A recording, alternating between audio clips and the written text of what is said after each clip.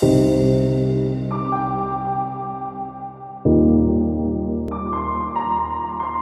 My name's Louise and I'm a Visitor Engagement Assistant at Tate Liverpool. When you come into the Dark Waters exhibition, obviously you're, um, you're going to encounter three sound works by Lamin Fofana and then on the walls you've got the 40 works by Turner and you go through areas of sunrises, sunsets, snowstorms, sea monsters, all the different conditions at sea that he was so powerful at capturing. Basically it's the power of the sea and it's a sound immersive experience which Lamin's created with his three tracks. And then we've got the, the visual artworks by Turner that um, kind of are seen in a new way because they've been put with the sound artist.